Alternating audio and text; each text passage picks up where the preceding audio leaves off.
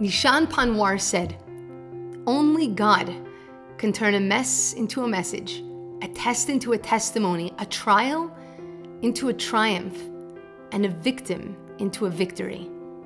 Hey guys, Orly Wahba here, coming at you every Monday through Thursday with an act of kindness to kickstart your day. Coming from my book, Kindness Boomerang How to Save the World and Yourself Through 365 Daily Acts. And so, for today, May 1st, the act of kindness is to take a few minutes each day to thank God for all of the amazing things that He bestows on you. If you aren't religious, thanking those around you or sending out an anonymous thank you can also be powerful.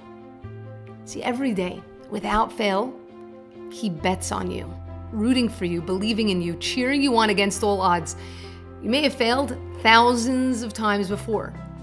Let yourself down, let others down, but you'll never let Him down. He won't have it, He won't believe it, He won't accept it. You may not see it just yet, but you're here for a reason, for a purpose, to fill a need in this world that only you can fill.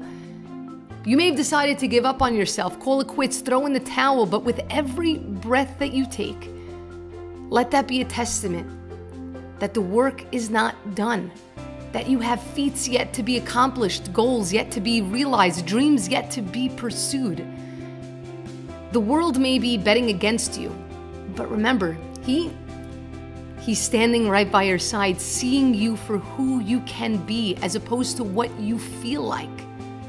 So when you're afraid and you feel as though you can no longer go on, cast your hand out and grab hold. He'll guide you the rest of the way. Often, the hardships in life help us discover and unleash an inner strength that we would never have otherwise stumbled upon. So, trust the process. There is order in the chaos. Just believe. Thank you guys so much for joining me for today's Kindness Kickoff, and I hope to see you again tomorrow. Remember, it's kindness that keeps the world afloat. Love you all. Mwah.